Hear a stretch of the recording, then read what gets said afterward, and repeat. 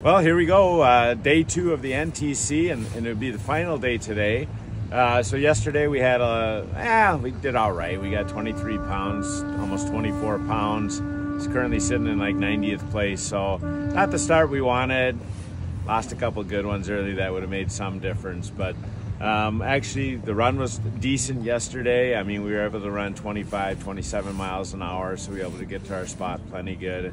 Same thing coming home. Today, they were calling for pretty light winds. Now they've switched things around. So right now, the wind's already blowing about 12, 14 miles an hour.